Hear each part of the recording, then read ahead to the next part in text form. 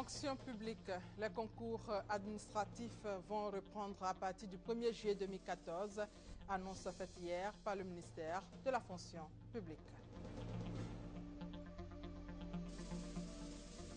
L'autorité pour le désarmement, la démobilisation et la réintégration sensibilise les ex-combattants. Sur le terrain, la DDR est soutenue dans cette initiative par l'ONUCI.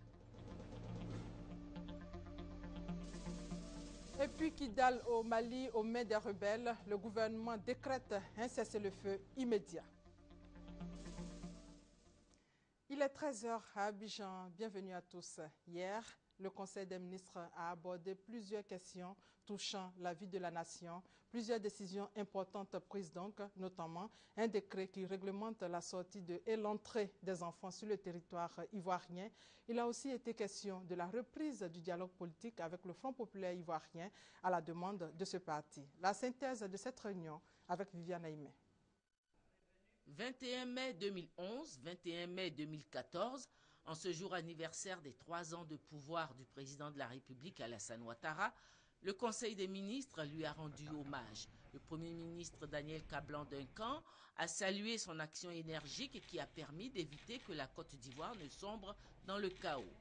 Illustration de son action énergique aux commandes de la Côte d'Ivoire, le Conseil des ministres a examiné un projet de décret qui va permettre de traquer les négriers d'enfants qui viennent en Côte d'Ivoire placer des enfants comme main-d'œuvre dans les plantations. Désormais, le parent ou le tuteur euh, qui entre ou sort du territoire national accompagné d'un enfant va être euh, tenu de présenter un certain nombre de documents. Sa pièce d'identité évidemment à lui, mais surtout un document qui atteste de l'autorité qu'il a sur l'enfant, l'autorité parentale, donc à travers le livret de famille ou à travers un acte de tutelle. Euh, évidemment, il faudrait également que l'enfant lui-même détienne un acte, par exemple un, extrait d'acte de naissance, euh, etc. Si l'enfant n'est pas accompagné de ses parents ou d'un tuteur légal, il faudra une autorisation expresse, dûment authentifiée par l'un des parents, le père ou la mère, ou une autorisation judiciaire, ou une autorisation du ministre en charge de la sécurité. Il est bon de préciser que ce sont les transporteurs qui seront tenus de vérifier que les enfants transportés remplissent les conditions du décret qui a été pris ce matin. Sinon, euh, premièrement, il y aura annulation du voyage euh, et surtout les frais de rapatriement éventuel de l'enfant seront à la charge du transporteur fautif. Le Conseil des ministres s'est aussi penché sur la situation salariale des personnels de maison des décisions seront prises dans les prochains jours pour leur garantir des salaires décents. Et puis, un espoir porté depuis de longues années par beaucoup d'Ivoiriens est-il en train d'aller vers sa réalisation? Les prochains jours, prochains mois ou années nous situerons. En tout cas, le Conseil des ministres a examiné un projet de décret qui va permettre à l'État d'ouvrir le secteur de la production et de la distribution de l'électricité à d'autres opérateurs. Le Conseil des ministres a par ailleurs décidé d'accéder à la demande du FPI de reprendre le dialogue politique avec le gouvernement. Après donc deux mois de suspension, le dialogue direct entre le gouvernement et l'opposition a repris ce matin. Information majeure, le gouvernement demande au FPI de lever son mot d'ordre de boycott du RGPH 2014. Et justement, ce geste qui va contribuer à apaiser davantage le climat politique, le procureur de la République, Adou Richard Christophe, a procédé au dégel des avoirs de 50 personnalités pro-Gbagbo après les 43 au mois d'avril dernier. Le continue d'analyser les requêtes présentées et tient à indiquer que d'autres dégels pourront être incessamment faits. Fin de mission après 23 ans passés en Côte d'Ivoire, l'ambassadeur de la Grande-Bretagne quitte le pays. Avant son départ, le diplomate britannique a été reçu par le chef de l'État. Compte rendu d'audience, Viviane Aimé. Après deux années passées à la tête de la représentation diplomatique du Royaume de Grande-Bretagne en Côte d'Ivoire, son Excellence Simon David Tonge quitte son poste d'affectation. Il est allé ce jeudi faire ses adieux au président de la République. Son Excellence Simon David Tonge se dit heureux de son séjour et du rôle qu'il a pu jouer pour le renforcement des relations entre son pays et la Côte d'Ivoire. Il y a à peu près 5 milliards de dollars d'investissement britannique les deux années dernières. Et nous avons discuté euh, le progrès de la Côte d'Ivoire et les défis qui restent ici. Et euh, nous, nous, avons euh, discuté un peu comment nous pouvons accélérer notre coopération. Même si elles ne partagent pas la même langue, les relations entre la Côte d'Ivoire et la Grande-Bretagne sont anciennes et marquées par une estime réciproque. Et après le président de la République, l'ambassadeur de Grande-Bretagne au thème de sa mission en Côte d'Ivoire a été également reçu par le Premier ministre Daniel Cablan-Duncan. Les deux hommes ont fait le bilan des relations bilatérales. Au plan économique, elles sont jugées bonnes avec des investissements britanniques en Côte d'Ivoire d'environ 2500 milliards de francs CFA. Le diplomate britannique, il faut le rappeler, s'en va après deux ans passés en Côte d'Ivoire. Et sachez que le Premier ministre Daniel Kablan-Duncan se rend aujourd'hui à Ouagadougou. Cette visite s'inscrit dans le cadre de la préparation de la quatrième réunion du traité d'amitié et de coopération entre la Côte d'Ivoire et le Burkina Faso. Mais avant son départ, un projet pour la sauvegarde et la valorisation de la baie de Cocody lui a été présenté. Ce projet est l'œuvre d'une structure, d'une structure marocaine qui a mobilisé une commission d'experts marocains sur instruction de Sa Majesté Mohamed VI, roi du Maroc. La valorisation de la baie de Cocody, telle qu'envisagée, fait rêver, nous dit Hugues Hervé-Blé.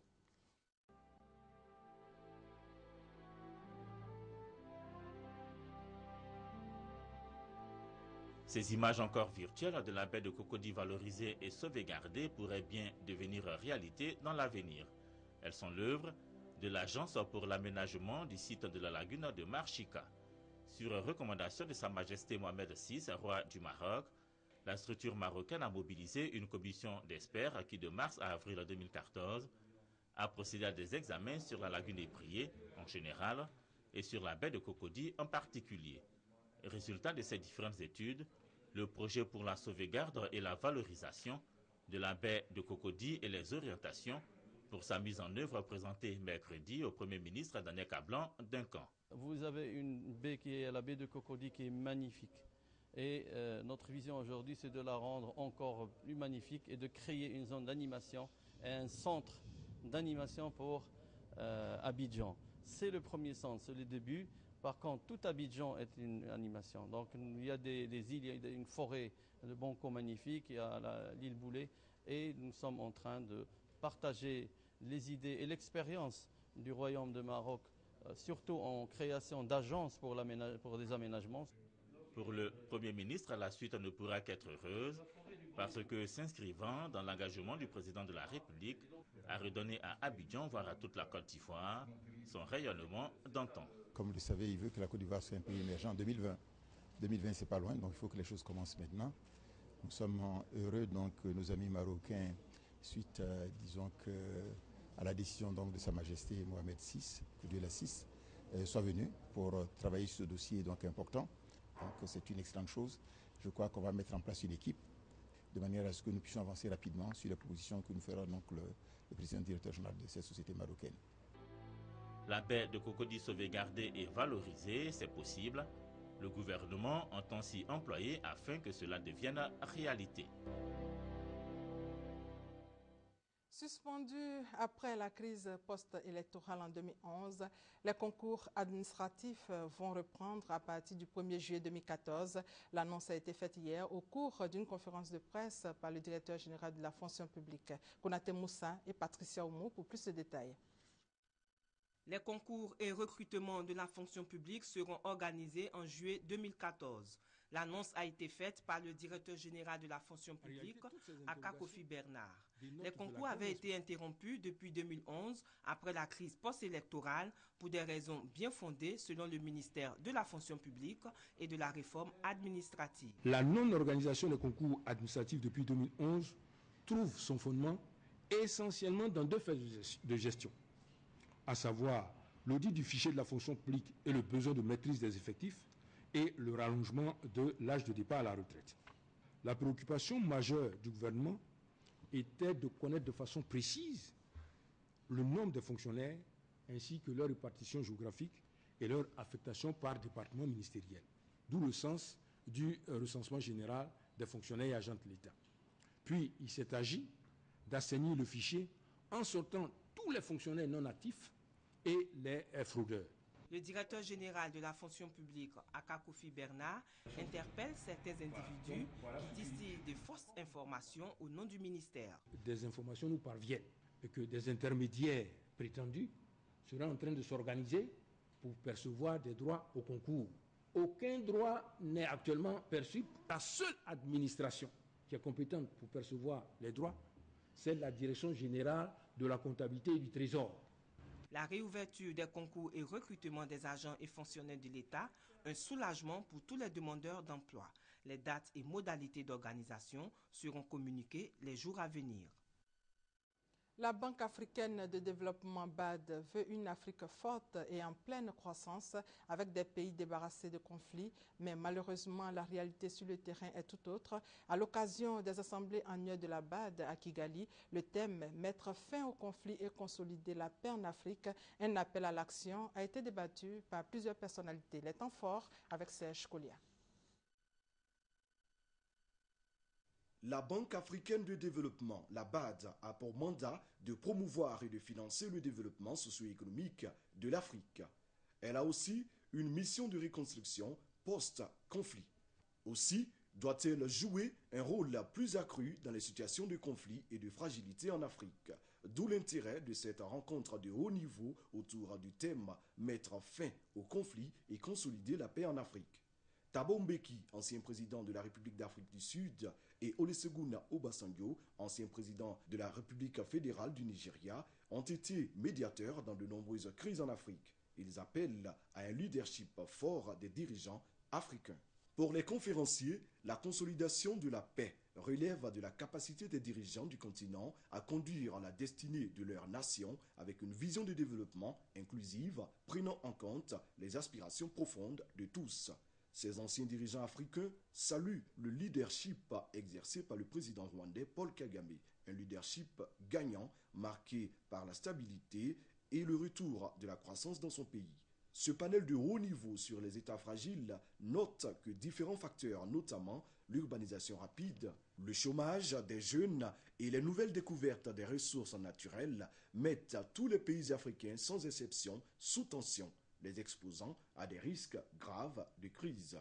Il revient à la BAD qui veut jouer sa partition dans la consolidation de la paix en Afrique d'adopter des stratégies efficaces pour lutter contre le chômage des jeunes, pour faciliter l'investissement privé et assister les États dans leur politique de reconstruction et de résilience à travers des partenariats. Le président rwandais Paul Kagame a pour sa part partager son expérience avec les panélistes. Plusieurs interventions ont marqué cette rencontre de haut niveau, notamment celle du ministre d'État, ministre du Plan et Développement, le docteur Albert Mabritoacus, qui a évoqué avec les participants quelques préoccupations de la Côte d'Ivoire en matière de résolution de crise et de sécurité transfrontalière.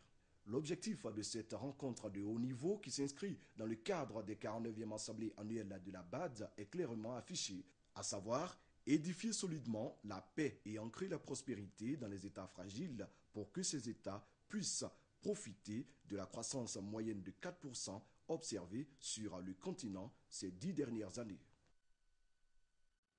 Et en Côte d'Ivoire, dans le domaine de l'agriculture, une coopérative agricole de cacao à Meagui a distribué des primes d'une valeur de 14 millions de francs CFA à ses producteurs. Honorine Ingori pour plus de détails.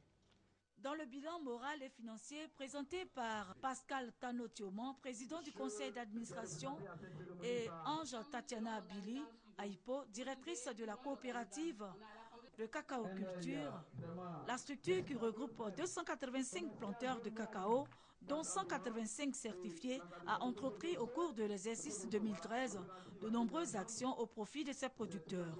Il s'agit de la construction d'une classe de martinelle dans le village Norbert Carrefour, le reprofilage de pistes villageoises, la construction de son siège flambant neuf pour un coût d'environ 15 millions de francs CFA et l'achat de motos pour la direction. Elle a commercialisé 553 tonnes, 462 kg, dont 328 tonnes, 101 kg de produits certifiés pour un chiffre d'affaires de 483 782 362 francs CFA. Elle a distribué 14 millions de francs CFA de primes à ses producteurs et réalisé un résultat net de 12 560 905 francs CFA. La coopérative se dit déterminée à lutter contre le travail des enfants dans la cacaoculture. Les coopératives de trois villages de Soubré et San Pedro soulagent les populations. Des infrastructures éducatives, sanitaires et socio-économiques construites par ces coopératives ont été inaugurées récemment, nous dit Teresta Peyobwe. Un magasin de stockage de café cacao dans le village de Upoyo, dans le département de Soubré, un centre de santé et une école maternelle dans les villages de Dagadji et Doba, dans le département de San Pedro. Ce sont des dons que viennent de faire aux populations les coopératives agricoles des villages de Upoyo dans le département de Soubré. Ces dons s'inscrivent dans le cadre du projet Sassandra, initié par OLAM International, partenaire privilégié des coopératives pour la qualité de leurs produits. Pour le secrétaire général de préfecture, Kwasi Justin, c'est le début de l'émergence dans ces localités enclavées et très éloignées. Le cabinet de la première dame était représenté par son directeur de communication à cette cérémonie. Klubali Brahima a sensibilisé les parents à envoyer leurs enfants à l'école et à quitter les champs de cacao. Cela dans le cadre des activités du comité de surveillance des actions de lutte contre la traite, l'exploitation et le travail des enfants. Rappelons que le dialogue direct entre le gouvernement et l'opposition a repris ce matin. Information majeure pour l'instant, le gouvernement demande au FPI de lever son mot d'ordre de boycott du RGPH 2014. Et justement, le bon déroulement du quatrième recensement général de la population et de l'habitat préoccupe le ministère du Plan et du Développement. Pour ce faire, un comité de veille et de mobilisation sociale a été créé. Après trois jours d'activité sur le terrain, ce comité présente les conclusions de ses travaux dans ce reportage de Grace Kando. Le comité de veille et de mobilisation du quatrième recensement général de la population et de l'habitat a mené une mission sur le terrain du 14 au 16 mai 2014 dans le district d'Abidjan. Après trois jours d'activité, ce comité a procédé à la restitution des conclusions de ses travaux. L'initiative est du ministère d'État, ministère du Plan et du Développement. Pour Abidjan, le taux d'exécution du dénombrement était assez mitigé.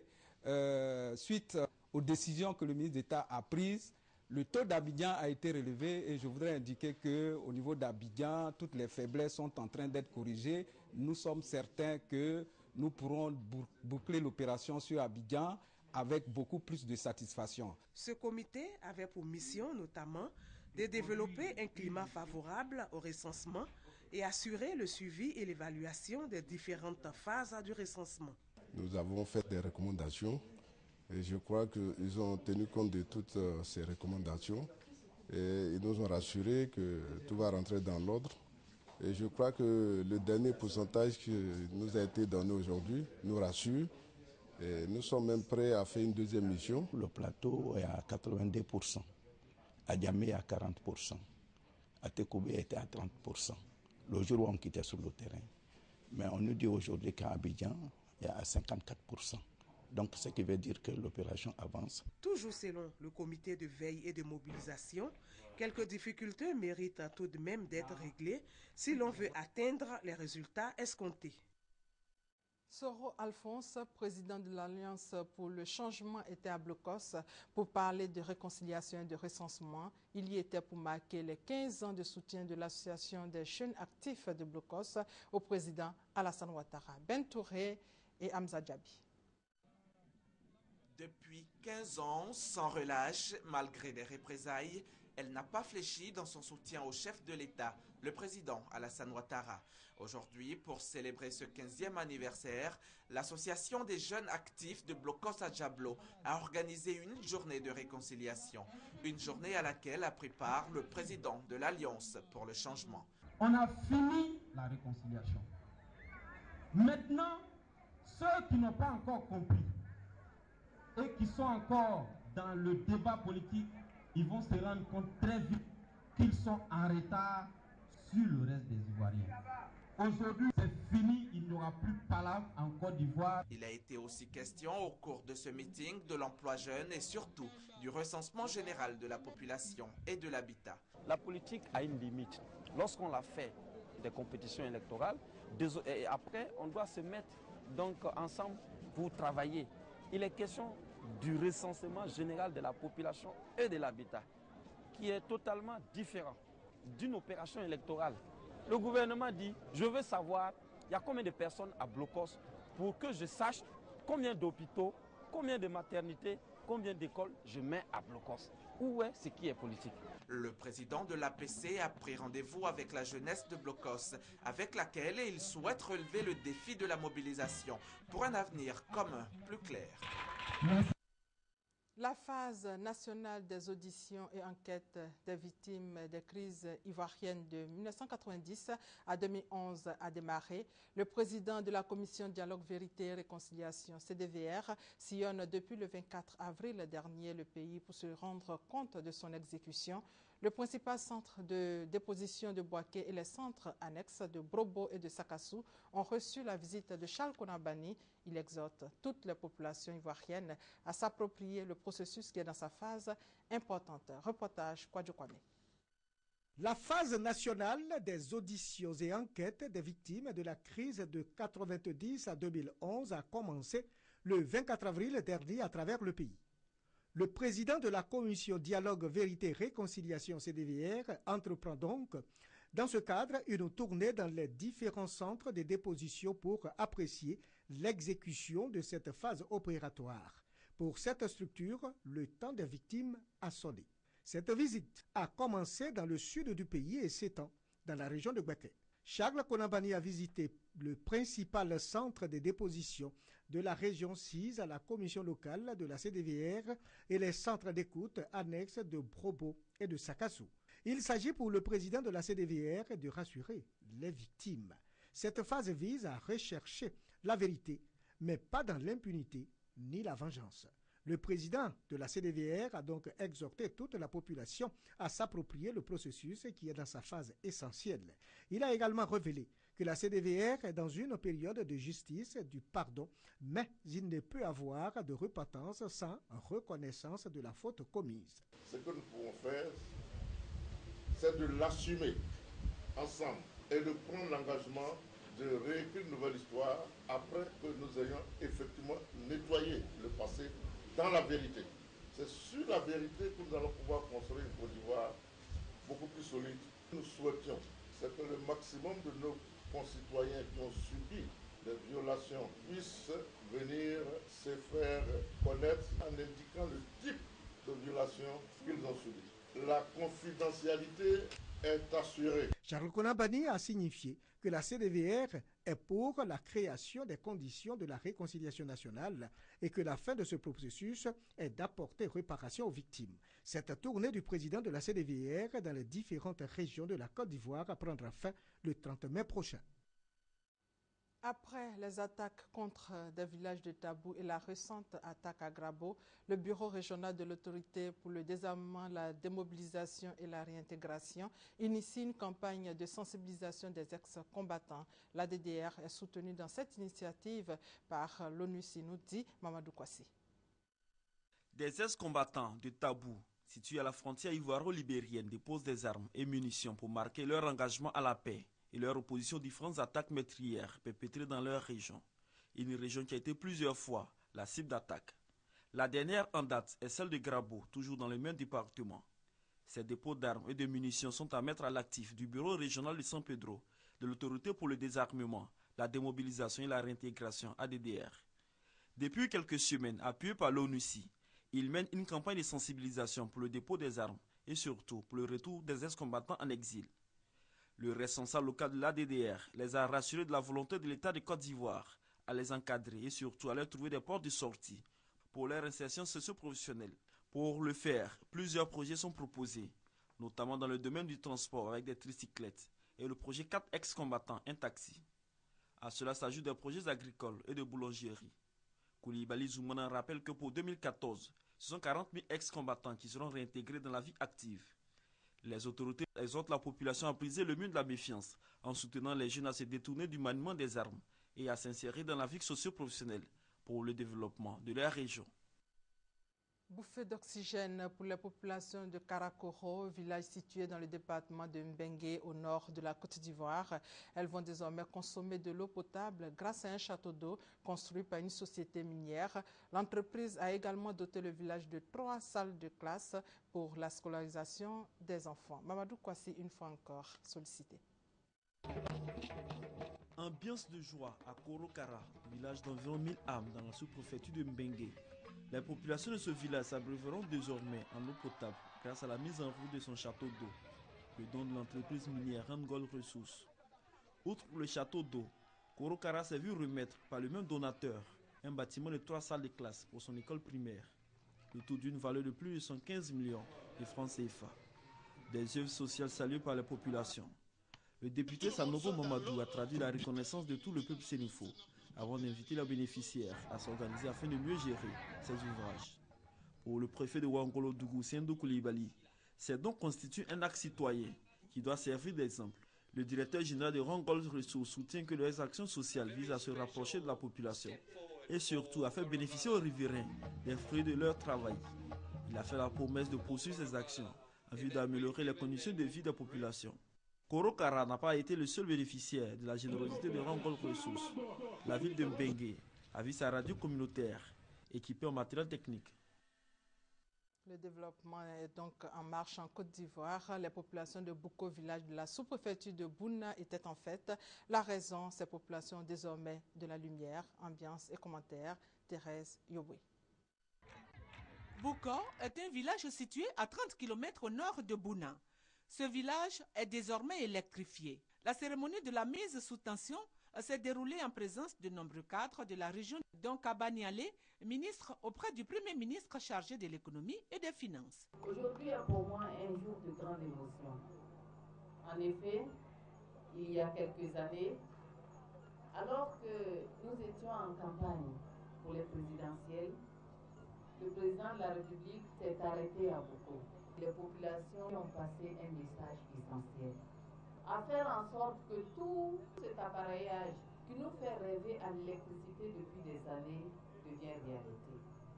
Voilà que moins de trois ans après son arrivée au pouvoir, Boko est électrifié. Le porte-parole de la population ainsi que le président du conseil régional ont affirmé que l'électrification de Boko est un signe de son développement. Quant au directeur général de l'énergie, il a invité les populations à s'abonner en grand nombre pour permettre à la compagnie d'électricité d'entretenir les installations à travers le paiement des factures. La réalisation de ce projet a coûté 60 millions de francs. Auparavant, les cadres et les imams du Zanzan, dirigés par El Timité Kalonga, ont initié une cérémonie de lecture intégrale du Saint-Coran pour le chef de l'État en guise de reconnaissance pour avoir apporté son soutien au grand imam de Bondoukou. Plus de 150 imams ont pris part à cette cérémonie de prière, occasion choisie par Kabaniale pour inviter les uns et les autres au renforcement des liens de fraternité et de cohésion.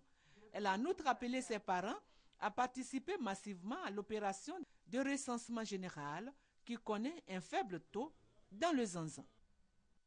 Et cette journée d'hommage des femmes du Worodougou pèlerin du Hajj 2013, au cours de cette célébration, des messages de cohabitation pacifique ont été véhiculés. Ouattara Walter, RTI Boaké. 35 pèlerins du Hajj 2013 viennent d'être honorés par l'Association des femmes du Worodougou résidant à Boaké. Chaque année, des musulmans ayant accompli le cinquième pilier de l'islam des localités de Séguéla, Mankono et Touba sont reçus par leurs parents à Boaké. À cet effet, une cérémonie religieuse et des activités socioculturelles sont initiées. À cette occasion, les femmes du Worodougou ont invité les maires sortants Fanny Ibrahim et entrant Djibo Nicolas, respectivement parrains et présidents de cette cérémonie, à s'unir pour le développement de Boaké. Chers imams, cher Adja, cher Ladji, avec le poids spirituel du Saint-Coran, les frères Fanny et Djibo Nicolas vont se lever et faire une accolade fraternelle et éternelle.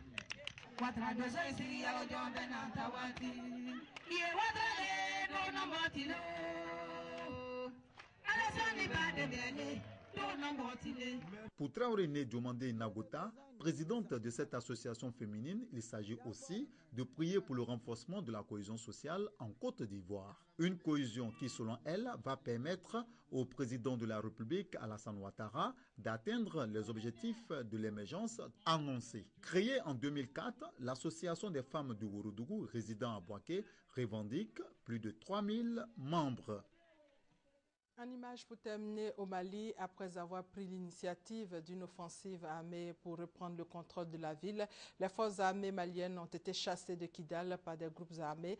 Les rebelles Touaregs du MNLA ont également annoncé avoir pris le contrôle d'autres localités, d'où l'armée a fui sans combat. Le gouvernement de Bamako a instruit immédiatement le cessez-le-feu. Et c'est la fin de ce 13 heures supervisé par Adama Kone. Merci de votre fidélité.